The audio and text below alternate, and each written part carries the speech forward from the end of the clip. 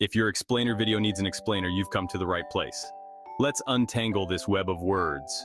So you're here to explain an explainer on YouTube. First, pat yourself on the back for being so meta. Now let's break it down. Step 1. Grab a catchy hook. How to explain an explainer. See what I did there? You want to reel them in like a fish, or at least a very curious cat. Next, keep it simple.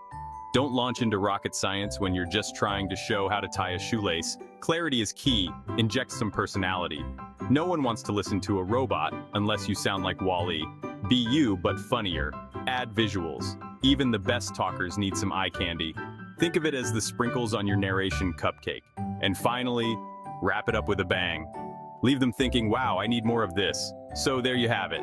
You just explained an explainer. Now go make that video and conquer YouTube.